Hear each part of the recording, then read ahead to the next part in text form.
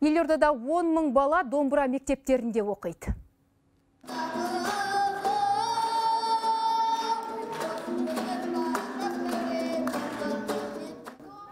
Олардың қатарында ерекше қамқорлыққа мұқтаж өрендер де бар. Бүгін жас домбырашылар достық үйінде бас қосып, ән мен күйден шашу шашты.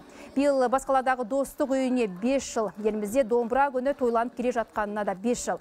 Жас домбырашылар осы қос мерекеде өз өнерлерін көрсетіп, көпшіліктің ықыласына бөленді. бүгінгі таңда астана қаласында он мыңнан аса біздің жас бүлдіршіндеріміз домбырада ойнайды яғни жаңағыдай шығармашылық коллективтерде ұжымдарда ойнайды домбыра ойнауды үйренеді мектептерде басқа жерлерде. Сондықтан бұл біз үшін бір жағынан жетістік. Екінші жағынан ары қарай да бұның көбейгендігін қалаймыз астана қаласында.